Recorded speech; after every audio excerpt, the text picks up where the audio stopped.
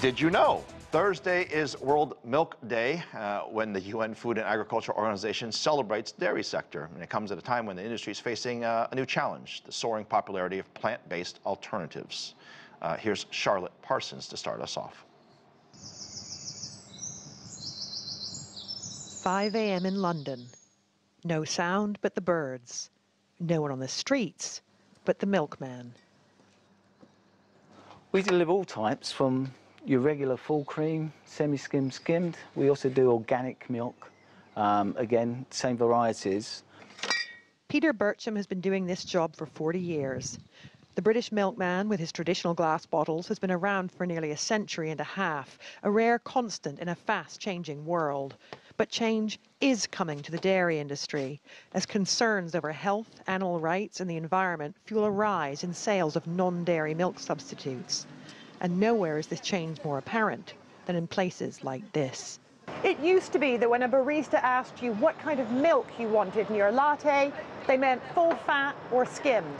Today, they're offering almond or oat, soy or coconut, and more and more people are choosing those options roughly about five people out of 10 ask for dairy-free alternatives.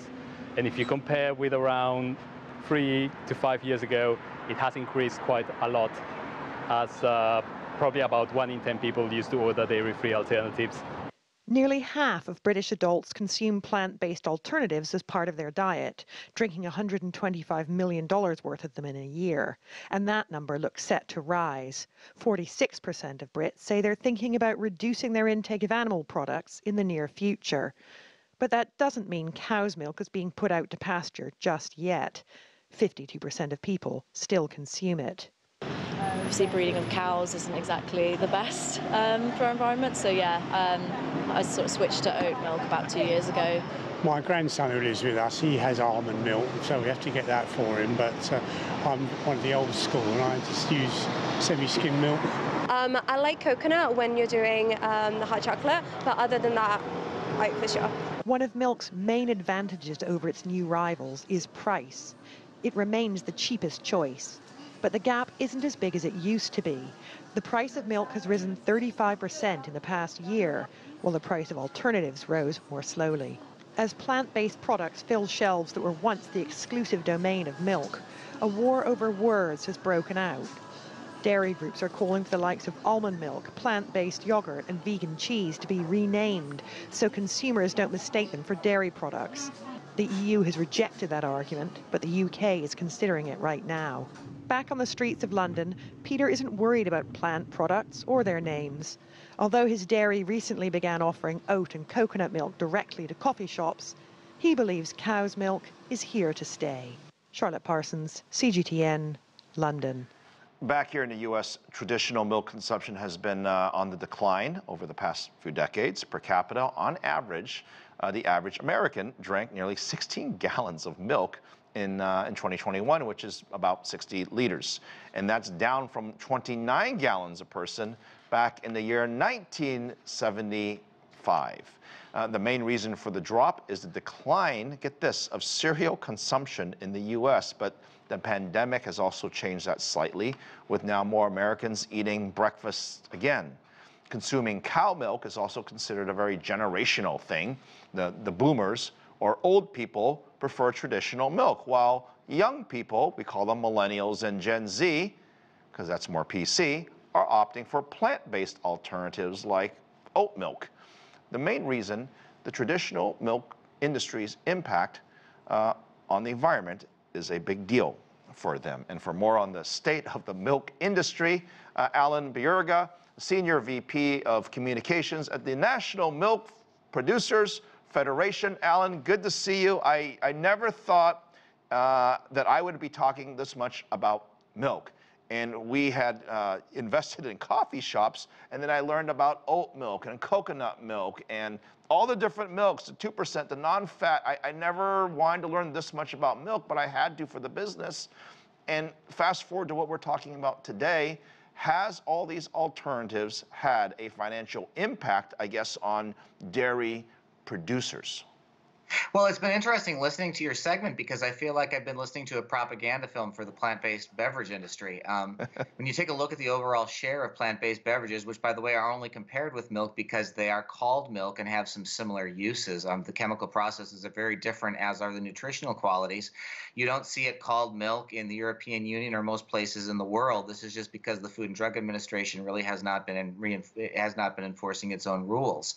You take a look about a, a financial threat there have been studies done as far as in terms of this declining fluid milk consumption, which, by the way, this is the big story that overall dairy consumption in the United States is at a per capita high since 1959.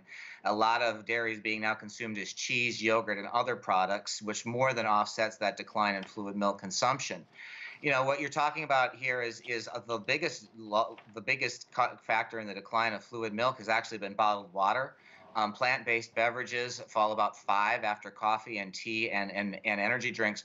Once again, you know, the reason that people even hack about this debate is, is that plant-based beverage folks have, are trying to purloin dairy terms to, to boost their own market share, creating a false equivalence that unfortunately has some very negative impacts in terms of the consumer health, especially of families who feed kids right. wildly nutritionally inferior beverages. Well, first, let me start with this. Let me clarify. Uh, I assure you, we are not propaganda for the anti anti dairy milk. Media don't even realize it. Um, you know, because people create these echo loops as far as what's going on with their Fair. with the products and and enough. idea that somehow fluid decline equals decline of dairy, which which simply is just not the case. And I'd encourage you to check some of your information and some of the data in your story. I I, I am pro milk. So uh, I do have. Thank you. I do. Happy I do have some. birthday. Char- I grew. I grew up on. I, I grew up on way too much milk. But he- here's some charts I'm looking at. Uh, milk production, from a dairy perspective, is actually up slightly this year than last year. Whether the reasons, I don't know. Um, but also, I have another chart that shows that the price of milk or the futures of milk are actually down, um, which I guess is good for consumers price of butter has gone down. I know there's some post-COVID things going on, but as we referenced in our story, um, breakfast, that is a big deal because when I, I know when I have breakfast, I tend to have more milk. And when I skip breakfast altogether, obviously we skip the milk. I, I'm curious, how much milk is consumed at breakfast time compared to the, the, the rest of the day? You know, I don't know that specific proportion, but actually, you're talking about a very important issue. You know, you talk about those futures being down. Let's also note that school is cutting out of session, and of course, school nutrition programs are very important. You know, that that traditional breakfast experience where people were having their their their milk with that. You know, it, has been a challenge with milk. By the way, it's been a challenge with orange juice as well. You know, you, a lot of that just traditional breakfast um, combination as people are on the go. It's not happening quite as much. You know, you brought up coffee houses too. You know, back when people were adding their own milk at home and more coffee was drank at home, that that was different. It was a different culture than what you have now. And and you know, you talk about the baby boom. It's not necessarily old versus young, but there is a question of proportion here. You know, with an aging population, you simply have demographics eh, that are not having as much milk, which actually tends to be more towards the young. But we have an older society society, they may like to drink milk, but you know, Gen Z rises, baby boom is uh, falling, and that just leads to a more complex marketplace. So, so my mother, she swears that by drinking a lot of milk, and I mean a lot, I mean like triple the amount a normal person drinks, but drinking milk is good for your teeth, it's good for your bones. You're gonna grow up to be a big, strong person. Will is she, is she right? drinker of milk. Is she right? Well, we certainly think that that milk pat has a powerful nutritional punch. I mean, you take a look at some of the 13 essential nutrients that are provided by milk. You know, you're talking about your your protein, you're talking about your calcium, you're talking about, you know, the vitamin D that is part of the milk as part of the general population. Despite everything that people talk about declining fluid consumption, you know, a lot of folks with plant-based, they're still drinking milk as well. It's still in more than 90% of US refrigerators. And by the way, that's part of what the plant-based folks like to do is they'll they'll buy buy their they'll buy their spot next to the milk in the dairy case to make their uh, products look similar. Okay, Alan, I got time for one. I, I, got time for one more question. Okay, and it sure. has to again do with milk.